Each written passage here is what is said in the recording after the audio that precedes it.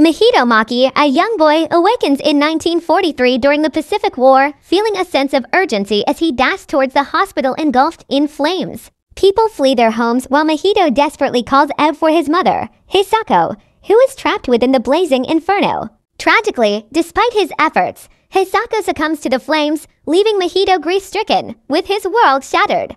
Mahito embarks on a journey away from Tokyo alongside his father Shoichi, who oversees an arsenal. Supporting the war effort, Shoichi eventually remarries Hisako's sister, Natsuko, who is carrying their child. Accompanied by Mahito, they arrive at Natsuko's estate, a sprawling property inhabited by seven elderly maids. Along the way, Mahito and Natsuko catch sight of a graceful gray heron in flight, a creature indigenous to the area. Intrigued, Mahito endeavors to capture the elusive bird, following its path with determination, but ultimately failing to ensnare it. During his pursuit, he stumbles upon a tower nestled within the estate grounds, where he discovers remnants of the heron's wings, a mysterious find that sparks his curiosity. Upon being discovered by the maids, Mahito is escorted back home, where Natsuko divulges the tower's history, revealing its connection to her eccentric granduncle who delved into the pursuit of otherworldly realms. Despite Mahito's attempts to integrate into his new surroundings by attending school, he finds himself subjected to ridicule and bullying by his peers. Frustrated and overwhelmed, he resorts to self-harm, inflicting a deep wound upon himself, which he conceals by fabricating a fall. Concerned for his well-being, Shoichi intervenes, urging the school to address the matter. Night after night, Mahito is plagued by harrowing nightmares of his mother's fiery demise. The haunting visions torment his sleep. In a twist of fate, he crosses paths once again with the enigmatic heron, prompting a confrontation in which he confronts the bird, demanding answers to its cryptic presence. Heron states that Mahito's presence is requested because he can escort him to his mother. At that moment, a group of frogs begins to cover Mahito's body, but the maids and Natsuko rush towards them and shoot arrows, which startle the frogs. Consequently, Mahito falls unconscious. Upon regaining consciousness, Shoichi informs him that he has withdrawn Mahito from school after making a donation. However, Natsuko was in poor health, so Mahito goes to meet her. Subsequently, he encounters Heron again, who beckons him, but this time before approaching Heron, Mahito crafts an arrow for himself. Interestingly, while crafting the arrow, he utilizes the wings of the same heron. During this process, Mahito observes Natsuko heading towards the tower, but he didn't pay attention to that.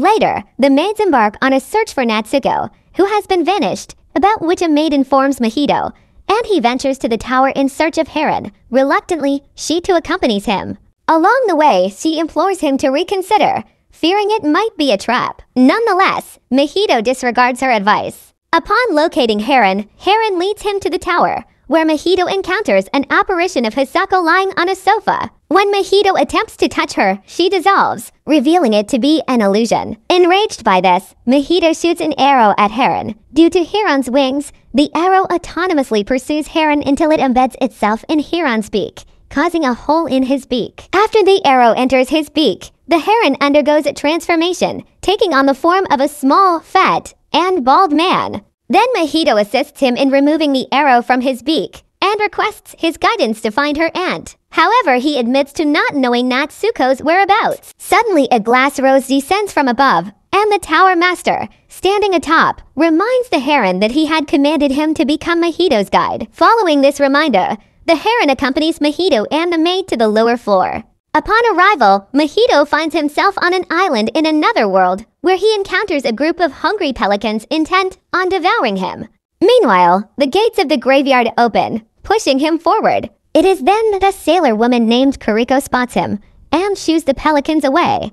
Upon noticing the heron's feather on his arrow, she realizes that the pelicans couldn't harm Mahito because of the heron's feather. Mahito joins Kuriko as she boards her boat and heads home. During the journey, Kuriko explains the existence of phantoms in this world. Subsequently, she catches a very large fish, and upon reaching her house, she tends to Varavara, a small marshmallow-like entity, nurturing it in preparation for its birth beyond the world of the. So, Mahito lends a hand as Kariko prepares to cut the large fish. Later, Mahito rests, and upon waking, he finds himself surrounded by dolls, resembling the maids who cared for him in his real house. He deduces that Kariko is indeed the same maid who accompanied him to the spirit world. According to Kariko, these dolls serve as protectors for Mahito. At night, Mahito heads to the washroom, where he notices the gentle moonlight illuminating the room. There he and Kuriko catch sight of Vara Vara ascending. Just as they mature to embark on a new journey in another world, they gracefully fly away, but they are swiftly pursued by pelicans eager to consume them. However, a young lady named intervenes and prevents the pelicans from harming them. Following this unexpected encounter, Mahito encounters the leader of the noble pelicans behind the house, who explains the dire circumstances they face in this world. Trapped on the island, the pelicans have no alternative but to feed on Vora Vora for sustenance. As their lives have been irrevocably altered, their offspring have even forgotten how to fly. Despite their efforts to soar to great heights, they could never get out with a heavy heart. The noble pelican passes away, leaving Mahito to dig a grave for the fallen bird. Later, the heron locates Mahito, who is in the midst of this solemn task. Before parting ways, they share a final meal together at Kuriko's place. Expressing their gratitude, Mahito and the heron bid farewell to Kuriko and prepare to depart. As they make their exit, Kuriko presents Mahito with a miniature doll as a token of good luck. Meanwhile, in the real world, Shoichi frets over the disappearance of Mahito, Natsuko, and Kuriko. Despite their exhaustive search efforts, they fail to locate anyone. During this time, one of the maids informs Shoichi about a historical event wherein a meteorite collided with the area years ago, causing widespread devastation. Initially, fear gripped the community, but after three decades, Shoichi's granduncle constructed a tower around the same meteorite. However, the tower's construction was plagued by unfortunate incidents. Moreover, Asako mysteriously vanished for a year following the tower's completion before inexplicably returning. Meanwhile, Mahito and Heron move ahead together, where Mahito aids in fixing the hole in Heron's beak, which was hindering his ability to fly naturally. Once the hole is patched, Heron transforms back and they continue their journey. Upon reaching a blacksmith's house in search of Natsuko, they encounter numerous giant parakeets, who were to brought there similar to the pelicans. Heron distracts the parakeets while Mahito rushes towards the house. However, they get separated again. Inside the house, Mahito is confronted by more giant parakeets, claiming they will lead him to Natsuko. But with sinister intentions, fortunately Himi reappears, wielding her firepower to scare off the parakeets, and rescues Mahito. There Mahito confides in Himi about his predicament, only to discover that Natsuko is her sister. Himi guides Mahito to her house and reveals that her granduncle, the Tower Master, has created pathways between this world and others, hence the existence of similar towers near Mahito's house and. Here, escaping the parakeets, Himi leads Mahito to a place with many doors, one of which could lead back to his world.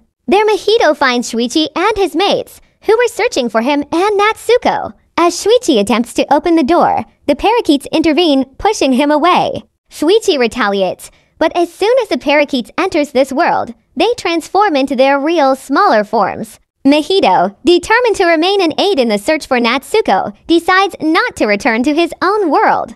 Himi guides him to a delivery room where Natsuko was present, and despite her initial refusal, Mahito persists in persuading her to come home. However, as he persists, the energy in the room reacts unexpectedly, causing bandages to ensnare both Mahito and Natsuko. Initially furious, Natsuko's anger gets softened when Mahito accidentally refers to her as mother instead. In the ensuing moment, the room's energy forcefully ejects Mahito toward Himi, leaving them stunned. Himi swiftly tends to his injuries and requests permission from the grand uncle to depart.